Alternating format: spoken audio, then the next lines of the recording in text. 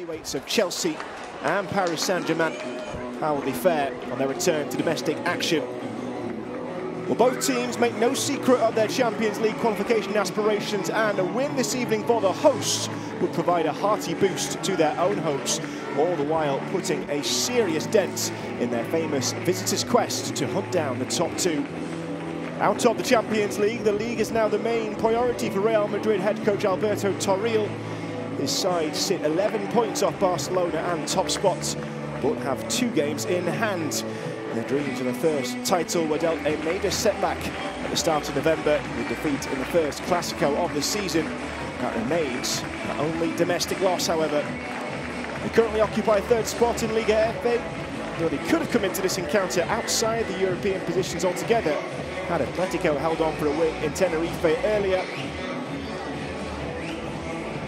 There's two changes for the hosts following their 2-1 loss to Levante last time out. Aldana Cometti comes into the side in defence in place of young Sandra Villafañe, who's benched.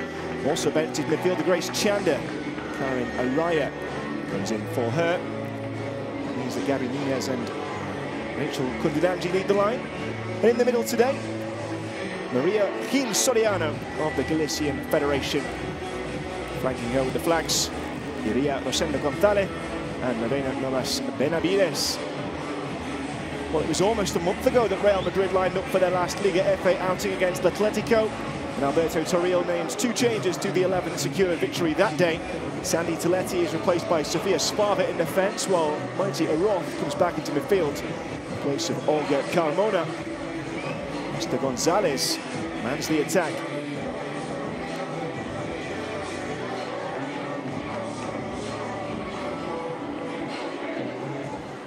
She's in no hurry.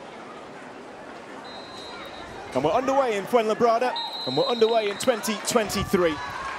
Madrid Club de Football taking on their close geographical and also their close cultural rivals, Real Madrid. The white strips that they sport were made in homage to the famous club.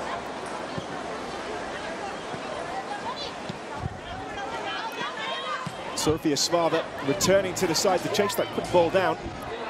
She's done enough to keep it alive too. There's trouble there for Cometti.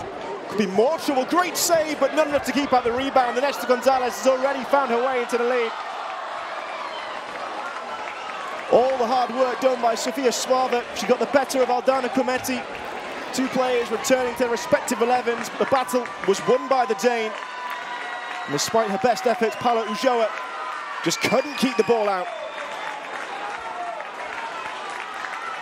Eighth league goal of the season for Esther Gonzalez. And has her as a solid contender to lead this line week in, week out. It's not one that Cometti will want to see again. Quick thinking from Ulloa, but quicker from Esther. The reflexes pay dividends. And Real Madrid lead 1-0. Matia off into Kenti Robles. That's going to run for Weir. Esther's in the middle. What's tracking back to do? Monica's got herself in a tangle. Finds Feller. She's going to go for goal, and she wasn't far away. Only inches away from making it a fourth in Liga F. And a standing start as well.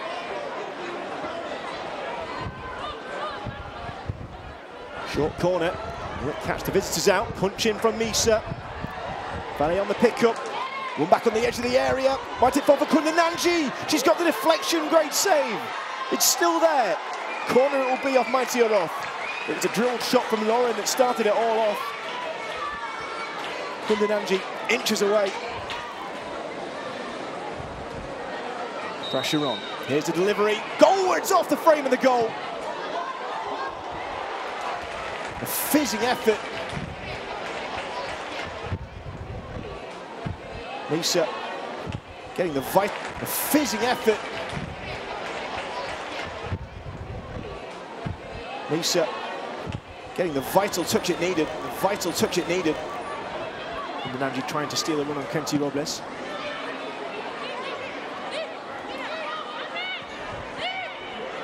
Here's Araya. And Nanji outside. She's going to go alone. Pulls the trigger from long range. Good control. Open up some space on the right foot. Got the angle just wrong. The 26-year-old only missed one game this season. Called into defence once again. It goes short to Weir. Weir from distance. Saved by the goalkeeper. Esther again on the follow-up. She's got that striker's instinct. Buries the ball home for a second. And despite the home side's resistance, it's a ninth league goal of the season for Esther Gonzalez. Real Madrid showing their class once again.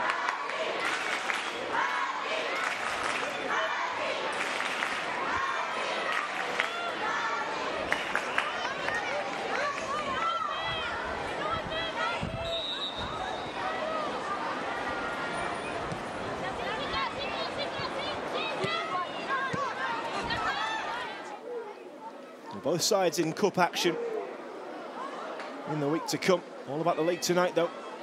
Here's Weir. Weir with a long shot. Oh, what a brilliant goal!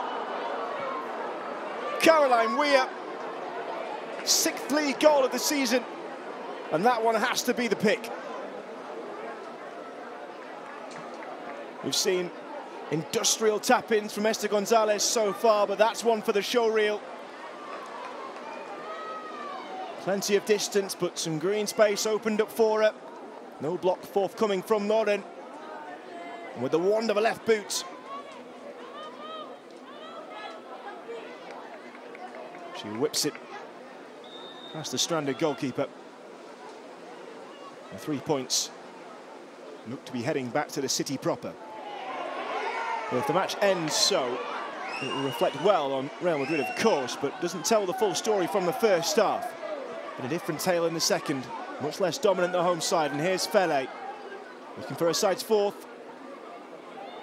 Was put off by Ana Gonzalez.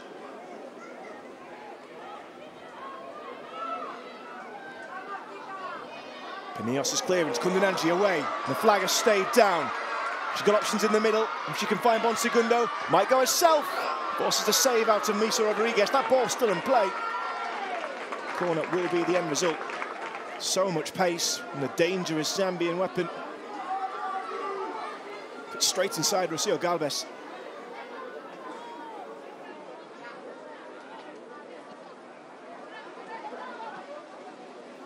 Looked to be an awkward throw.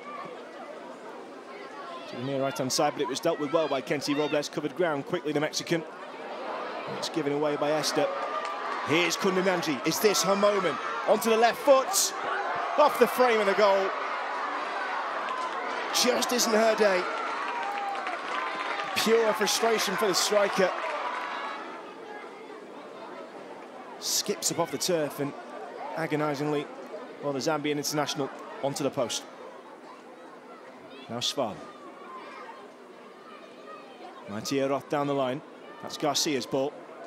Up against Loren. Now Svava Feller making a beeline for the centre. It might yet come to the Frenchwoman.